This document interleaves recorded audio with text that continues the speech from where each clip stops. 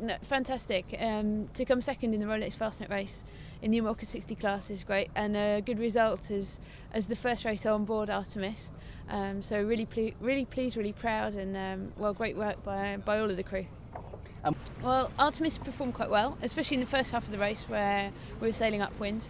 Um, we, we knew that would be that would be our strong point. point, and then uh, the second part of the race where we thought we might struggle downwind in the light winds, um, it was there and we need to work harder. But the guys have done a great job. She's already been uh, had a, gone through a refit to try and save weight, and we've reduced the weight of the boat. So um, we're we're moving in the right direction, and I think there's a bit more we can do before the Jacques Vabre in November. But it's, it's great to be racing in the IMOCA 60 class as if we're racing um, in a Figaro class with all the boats really close together and contact um, throughout the whole race. Uh, fantastic leaving the Solent neck and neck with BT and then um, we managed to pass them and be first boat around um, all the points uh, round to Land's End and then round the rock in first place. It was fantastic.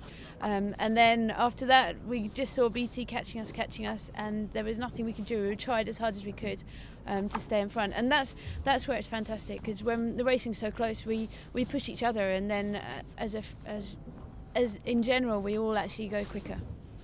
Well, I've, I've done the Fastnet race three times before, um, but the last time I did it was 10 years ago. it makes me feel really, really old.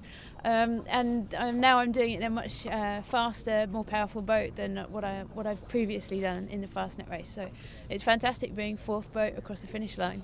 That's, um, that's something I've never done before, so that's, that's great. And, but the Fastnet race, it still remains the same. It's still a big challenge in, in sailing. And, um, and yeah, it's one, one of the biggest races of, of the calendar for, for me, and it always will be. I think just rounding that rock is magnificent, and uh, uh, it's, it's a great it's a great sight to see it looming up in front of you, and then see it off in the distance behind you.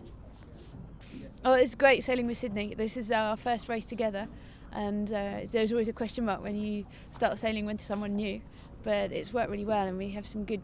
Um, we have the same ideas about things, the same feeling about sailing the boat, and a good communication going already, which is really important to um, well, so the, for the Fastnet race, uh, for me on board Artemis this year, um, I think a success in general.